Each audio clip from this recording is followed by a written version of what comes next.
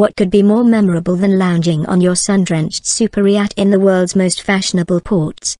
Quite a lot, says an increasing number of intrepid millionaires looking for the ultimate adventure. No longer satisfied simply to moor their lavish vessels in the Mediterranean or Caribbean, an emerging market of jet-setters are seeking unique voyages of exploration. And it's taking them to the ends of the earth. You think a meal at a good restaurant in Monaco is memorable? Or a day at a St. Bart's beach in the Caribbean is memorable?